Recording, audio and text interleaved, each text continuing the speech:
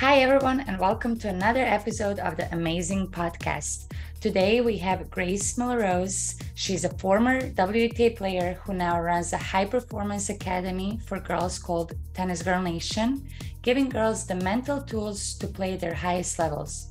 She's a speaker and author of the number one new selling release on Amazon, Girl Boss Tennis and is passionate about helping girls reach their dreams in tennis. Grace, welcome. I'm so excited to have you here today. Thank you, Ema. I'm so excited to be here and like big congrats on your podcast. It's Thank hard so running much. a podcast and launching it and putting out content like you do. So I'm excited to be here and yeah, love love what you've put out so far. Thank you so much. I'm really excited for the audience to get to know you really get to know the face behind the Tennis Girl Nation and the new Girl Boss Tennis book. I ordered it and I can't wait to read it. Yes, I'm really, really you. excited. Of course, tell us a little bit more about what's in the book. So like what can we expect when we when we read the book? Yeah, that's a great question. Um, so I have my I have my copy right here. So for those of you guys who haven't heard of it yet, um, Girl Boss Tennis actually just came out um, while we're recording this podcast about a week ago um, on Amazon. So you can find it on Amazon. Um, and, you know, as the title suggests, it is for girls. Um, but more specifically, it is for girls who are playing competitively. So, Ema, I know you and I have both been coaching for a long time. And when I started to coach, I really coached people of all ages, but very shortly after I started coaching, I really realized, man, I really, I love helping girls and I love helping girls who were in the position that I was as a player because there was so much as a junior player that I did not learn. And um, some of those things were really related to competition, like how do you have a strong mindset? How do you not let your emotions get the best of you? How do you stay mentally tough and like close out matches? How do you have that killer instinct? Um, you know, what what should your strategy be? And and how do you keep like a really clear strategy instead of switching it up 20 times during a match? Those are things that I did learn as a player, but I also learned as a coach. And as I started learning those things and really identifying like solutions to the, the problems of the girls that I was coaching, I just started to put it all down on paper. And, you know, eventually that turned into a book. When I was writing it down and putting all of it on paper, I didn't really know that I was writing a book. I was just getting all of my knowledge on paper. I wanted to really document the things that I was coaching. I wanted to make sure that I was serving the girls that I was coaching to the best of my abilities and that just so happened to turn into a book. So to answer your question, I was like a little more than you asked, but um, it is for competitive girl tennis players who want to grow their mental toughness, who want to understand understand like what is the best strategy for my game specifically. Um, it also really goes deep into some mental work, like how can we overcome limiting beliefs? Because if you have a belief in yourself that I'm not good enough or I will never be as good as that player, you can work on your external skills as much as you want, but like you're not going to start beating people that you perceive are a level higher than you until you change that self talk. So, very mental, but also practical match skills. And, you know, I've had girls that have picked up the book that are nine and 10 years old, um, and girls that are 17, 18 years old. So I would say that's like a great range, like 10 to 18. Um, I really think that the girls that will get the biggest benefit from reading this are girls that already have like a pretty good understanding of their strokes. Our strokes will never be perfect in tennis, but they have a good understanding of like, uh, you know, they know how to hit a solid forehand and backhand and serve, but in a match, maybe some of that crumbles or they don't feel like they can bring out that practice level in a match. So that's really who it's geared towards. Um, but I would also say, like I think it's really fantastic for women league players too. Um, I've coached quite a few league players, and although the the wording in the book is definitely geared more towards girls, like I really talk about like, hey, you're a girl boss tennis player, and maybe that doesn't apply to like a 40 year old woman. They're more like the lady boss. But I really think there's a lot of match principles that would be awesome um, for women players as well. So that's a long answer to your. No, to your it's great. It's great. And I'm just thinking about it. this is great for a lot of girls I'm coaching, and this is going to be my Christmas gift. I love that. That's well, thank you first of all for yes. supporting. But yes. I think I think I really want as many coaches as possible to get this in their hands. Yes. Um, especially dude coaches that might not know fully how to relate. Yes. Yes. But but obviously you're a an amazing female coach too. but like, yes, I think it's a great gift um, yes. coach to a player. I obviously I'm going to read it first, but I'm sure it's I'm sure it's great because like you, I love I love so many of these things that you said. You know, like just right here, your strokes are never going to be like perfect. Like right now, like your strokes are not perfect, my strokes are not perfect, and you don't want to look for that perfection. You want to look these other aspects that are affecting yeah. your game. I really can't wait to read that, and and maybe your next book should be lady boss tennis i love it so it's geared more more towards those ladies and i'm sure a lot of them will buy this book and i would gift it to the ladies that i coach then you know just think about it totally and nothing is ever like a quick fix in tennis i do yeah. like to think that the stuff in this book is like it, it does have some quick fixes like hey if you struggle with nerves here's your strategy for how okay. to handle nerves. So there is like mm-hmm. quick fix stuff, but also it's just about like building that skill set. I think like an analogy that I like to use, and maybe like we've talked about this before, but uh, typically a player, whether it's a league player or like a junior competitive player, they're getting this much training on forehand and backhand skills and rallying skills and getting their rhythm and they're getting this much training on match play. So my goal is just to like even it out a little bit. I don't think that we need to shrink this. I just think we need to like get a little bit more here. So, I you know, see. will you immediately win the first match that you play after after reading my book? Maybe. Mm-hmm. Also maybe not, but like we're evening out and we're saying like all of this effort that we're putting towards building our tennis skill set also needs to go towards our competitive skill set too. And it's just a, it's just another tool. Let's jump into the tennis girl nation. If you can explain to the audience they don't know what it is, what it is exactly and when did you start? So um, as I kind of mentioned, you know, as a junior player, there was many things that I did not uh, receive from my coaches, um, whether it was belief or practical skills um, that I really needed to be successful or whatever. And so I really have made it my mission as a coach of how can I solve those problems for the next generation of girls. I had to go through it the hard way so that hopefully their time can be a little easier than mine was in junior yeah. tennis. And so that's really been my mentality as a coach. And um, you know, I had a a friend that encouraged me to he's a he's a fellow business owner and, and mentor of mine and he was like grace like we need to get you like teaching this knowledge that you have online and you really need to narrow down and like really figure out who are you called to serve in the tennis industry. And it took me like 6 months. The answer seems so obvious but it took me like 6 months. I'm like who am I called to serve in the tennis industry? And literally just hit me one day. I'm like oh I'm supposed to like go back and help the person that I was at that age. So that's one of my favorite quotes is like be the person you needed when you were younger. And so Tennis Girl Nation really started from that. It's like, what did I need at that age? That that wasn't just unique to me. This is happening across the board with a ton of girls. And so, you know, I, I started an academy um, based on uh, based on those needs, based on like specific coaching to girls that are having those unique challenges at age 13, 14, 15, 16. Really, we're, we're very inclusive. Um, it doesn't really matter the age but girls who are playing tournaments who who want that mental edge. And so we're really a non-traditional tennis academy. Um, I don't run an in-person location. Um, I do, I am connected with coaches all around the country, like you, Ema. So I can definitely be a connector for people who are like, hey, I just found you. Where can I go train in person?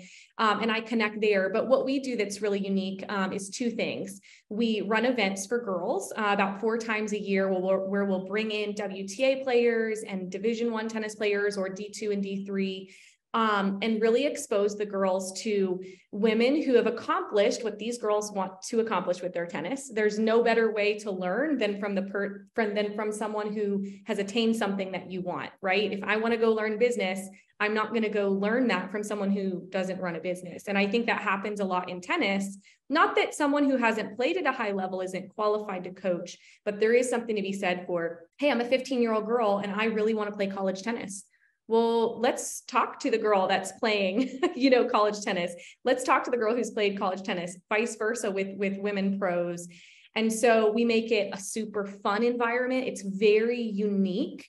Um, we really we really feel we flood uh, our retreats and our camps with um, just a lot of coaching a lot of mental coaching um, and then we we basically just send the girls home with like a newfound belief in themselves, a newfound like inspiration and clarity on, okay, this is exactly what I need to do to reach my goals. And we've reached, I mean, hundreds since we started our events, we've reached hundreds of girls now Um, and that number is only continuing to grow. And we've had people tell us, I'm never, ever one to throw anyone else under the bus. But one of the best compliments I got after running my first camp is like, hey, you guys are better than IMG. And I was like, whoa, that's so cool, you know, because like I know my heart is right in running these things. I know that I put a lot of intention and care into making sure it's an awesome experience. Um, but that was so cool to hear that of like, man, we we really are like doing things well. It's not just I feel like we're doing things well. You know, that's how people are experiencing it too. So that's one leg of what we do. And then the second leg is an online program that I developed. And this was actually how Tennis Girl Nation started was with an online program that I developed. It's called Match Play Breakthrough, and it's a virtual coaching program. So think like Top Court, but specifically geared towards um, girls. Again, you know, kind of our niche is like that competitive yeah. tennis player um, who really wants tools to break through and reach the next level in our match play. Um, and we go through weekly coaching video lessons on like how do you build your consistency in matches because if you can hit 20 balls in a row in practice but that's not happening in a match we don't need to train that skill set. We need to figure out why is that not translating. And so you know we have weekly lessons on consistency on mental toughness. We do visualizations together. And then every single week there's like an activation where it's like hey we're going to go integrate this new knowledge into your game and this is how we're going to do it.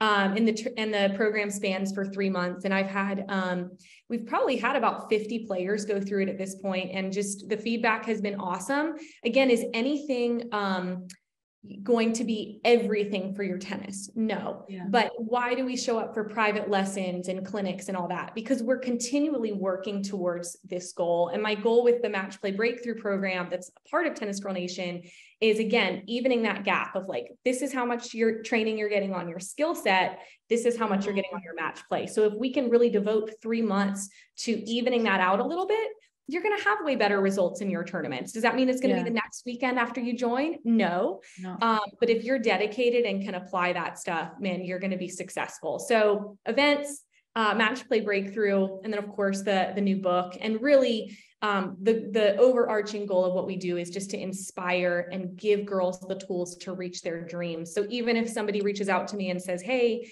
you know, we can't come out to one of the camps, but we, you know, one of the camps, but we live in Nevada. Who do you know? Great, here you go. And please let us know if we can be a resource for you. So if you're listening to this, um, I would love it if you reached out. If you need any um, help, Ema is obviously an amazing person to reach out to as well, and um, has been through. You've been through so much in your tennis, Ema, and in your coaching. But just want to be a resource for um, for girl players and their parents. From my experience, what I can say, I've never been to any of the camps that are like that growing up or coaching.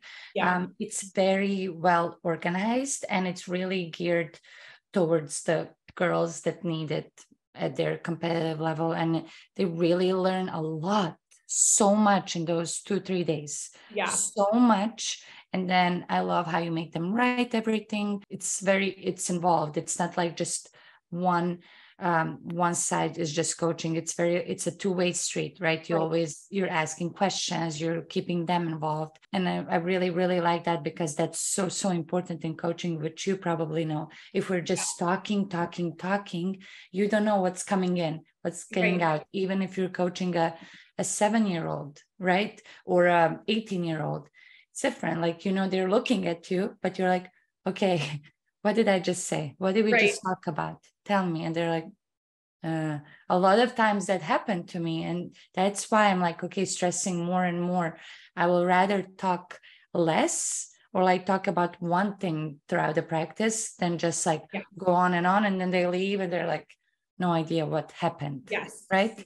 Keeping them involved, either if that's writing it down during the practice or during the camp or after, whatever it is. I really like that aspect as well. So yeah, I, I really recommend anybody watching and listening that, especially if you came this far already in the episode, um, means you're interested, really check out uh, the campsite. When is the next one? When is the next? So we actually don't have our 2023 schedule oh. yet. We'll, we'll, probably release it in like February. I, I, I need see. a month or two off just yes. to not think about it. But yeah, probably February 2023 we'll probably drop our dates. Okay, sounds good.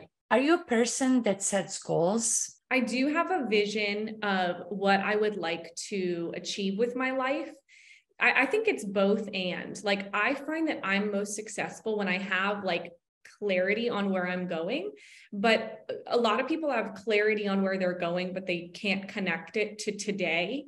Mm-hmm. Um, and one of my favorite speakers, Ed Mylett, um, he talks about uh, the word proximity and how a lot of us fail to achieve our goals because we perceive that we're further away from our goal than we actually are. So, if my goal is, for instance, to play in the US Open, but I think that's five years down the road, my action today probably won't be very high. But if I know that I'm playing in the US Open next year, all of a sudden today matters and what I do today matters. So sometimes it's really helpful for me to draw my goals, my future goals in a little bit closer and say, okay, what if I actually was doing this this year? What would my activity look like today?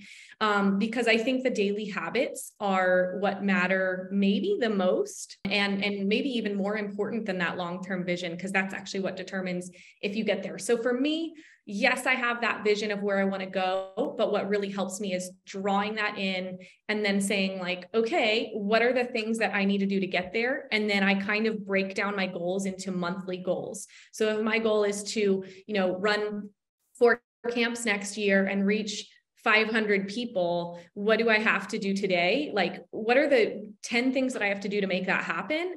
And what it, what are the main 3 that i could focus on this month? That's kind of how i break it down is like monthly goals to reach that long-term goal. I really love how you put that. And and that's yes. stuff that i learned from other other people too yes. like filling my mind with like oh this is how they do it this is how they do it so it's definitely like just listening to pe- how how to effectively goal set from other people has helped me a lot that's awesome i love that thanks for sharing that what is one piece of advice you'd give to someone starting in your career I think number one is just to have um, have an attitude of service, and I've said that like quite a few times. I wasn't even planning on saying this today, but it's just come out of my mouth. Like serve. Who is your Who is the audience you're called to serve?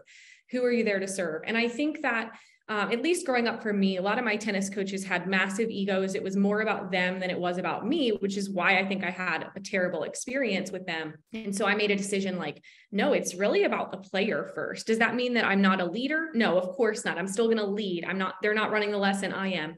But my heart attitude is to serve and to help them and to be someone positive in their life and making it about them instead of about me. So that was something I, I actually did. I'm not saying this was easy for me, but that's something I did very early on that I think helped me be really successful long term and helped me get here because my heart motive was like, I like at that point, I didn't know that 10 years from then I would be a published author. I just was like, you know what?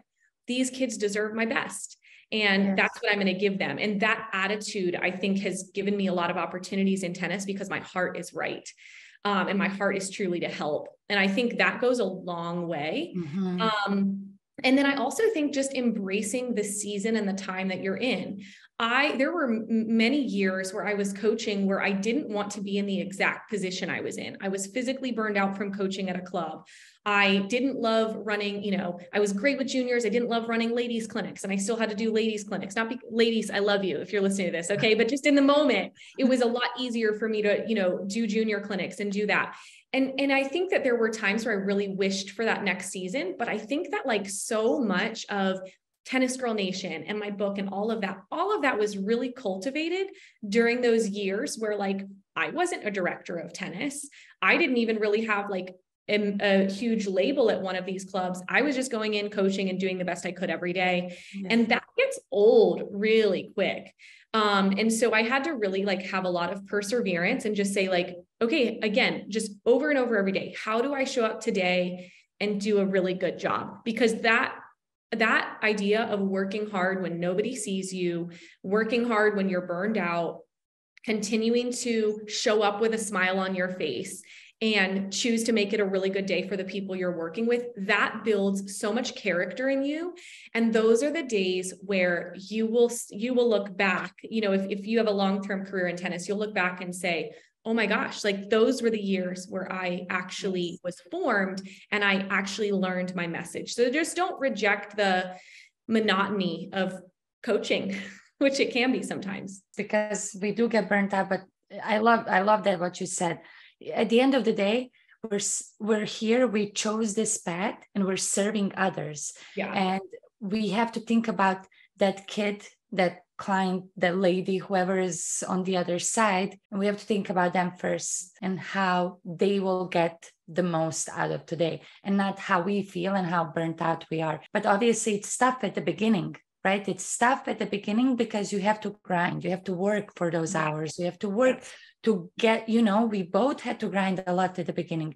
It doesn't matter of our background careers like um, how good on wta we were or how good i was in college. Great. to start my coaching career i need to grind at the beginning. And then you grow. Then you grow like we are doing now right? Few x years later.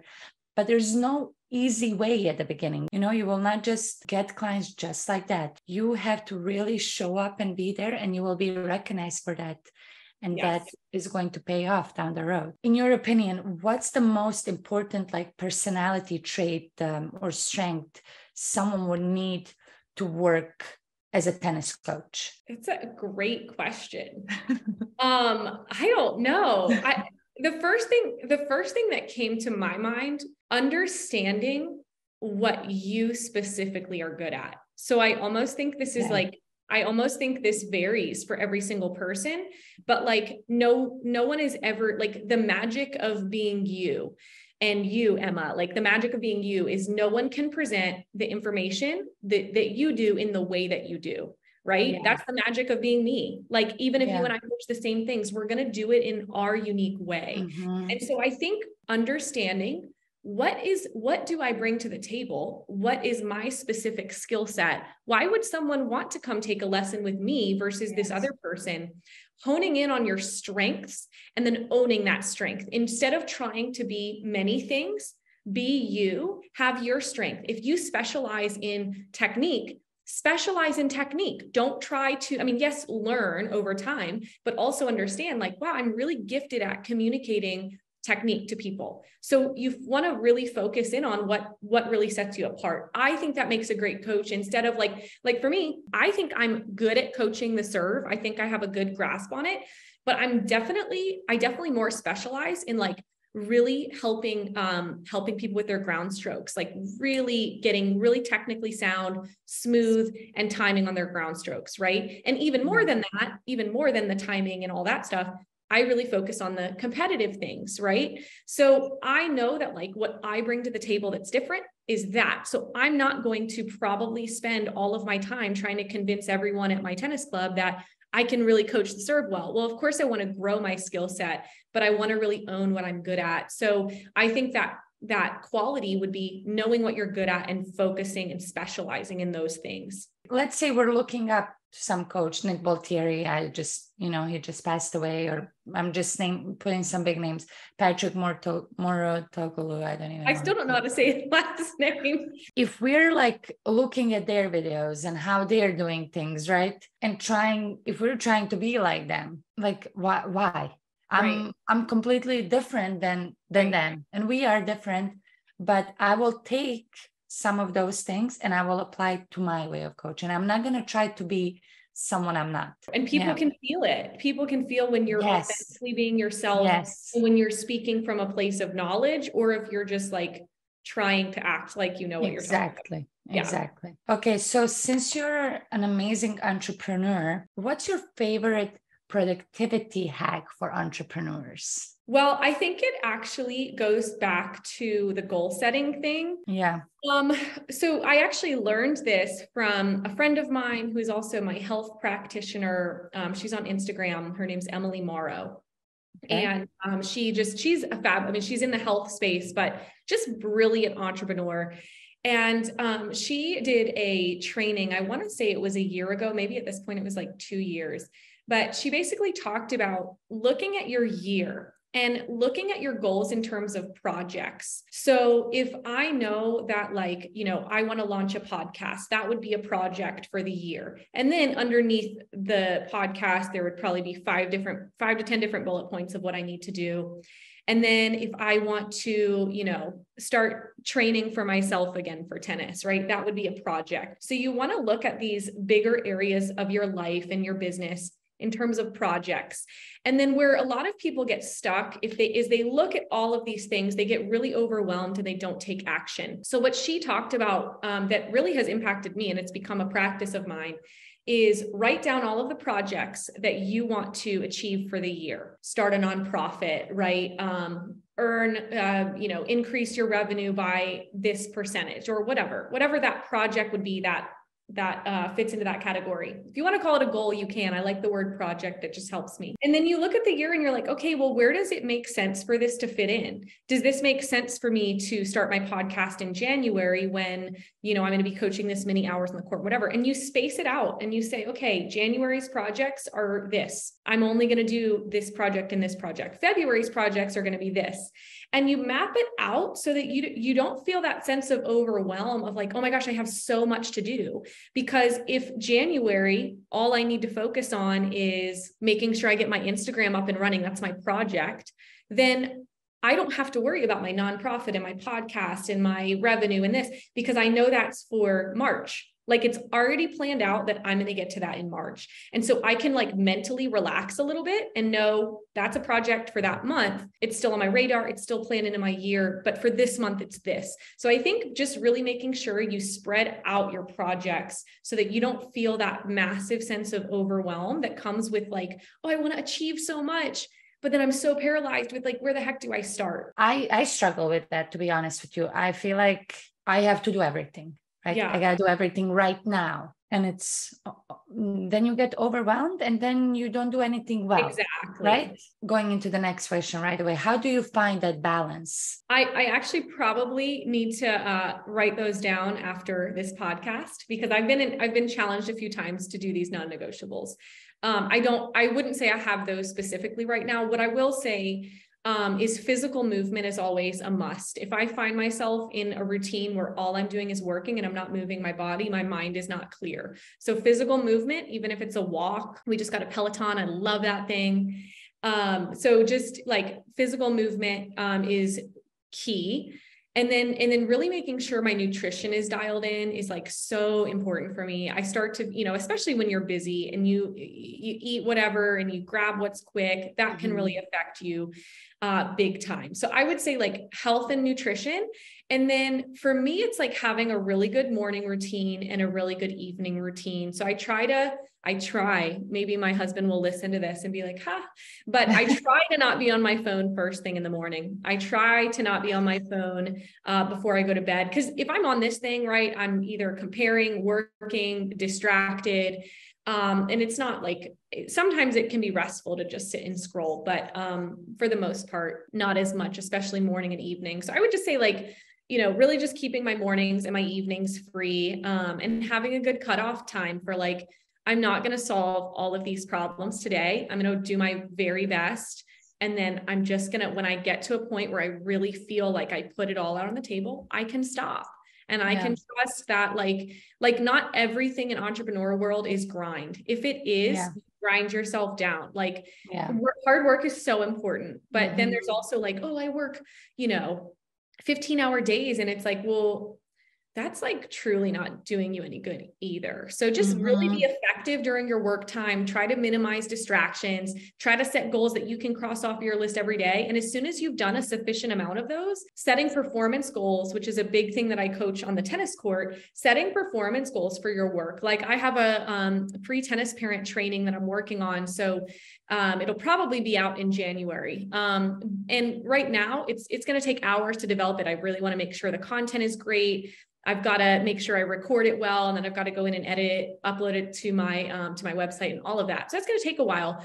So I've been super overwhelmed with this project, and just yesterday I was like, I'm just going to set a performance goal that every week I'm going to work on this thing for four hours. So when I start my day, and it and I'm setting my goals for that day, it's like, oh, can I get in two hours today? And then I cross it off. So when I finish my two hours, I'm like, I accomplished that. It's not finished yet, but I like put in the work towards it. So, um, yeah, that's something that's been helpful for me. Can you tell the listeners where they can find you online? Yeah, absolutely. And today's been great. Thank you so much for having me. I love our conversations and I feel like it's awesome that people just got to listen in yes. on like what our normal conversations sound like anyway. Um, so yeah, you guys can find me um, on Instagram at Tennis Girl Nation. Uh, also, tennisgirlnation.com. So, for any tennis parents listening, I did mention the tennis parent training that I'm working on. Um, you guys can go to tennisgirlnation.com, and that should be live January 2023. Um, and then, of course, you can find me on Amazon. Girl Boss Tennis on Amazon makes a great stocking stuffer. Um, if you're a coach, really great gift for your girls. And um, yeah, would love to connect if there's anyone who um, has questions or wants to talk about where your daughter is at and you just want some feedback. Would love to hear from you. You can you can uh, use the contact form on my website tennisgirlnation.com and then click on contact and send me an email there. Thank you so much, Grace. Once again, always a pleasure talking to you. I always learn a lot, and I hope you guys get something out of it as well. And I'm sure soon I'll invite you again on the podcast. Let's do it. Let's do it. Thank you so much for having me. Thank you. Thank you for listening. If you enjoyed this episode and you'd like to help support the podcast, please share it with others, post about it on social media, or leave a rating and a review. To catch all the latest from me, you can follow me on Instagram, YouTube, Facebook, and TikTok at Tennis with Ema. Thanks again, and I'll see you next time.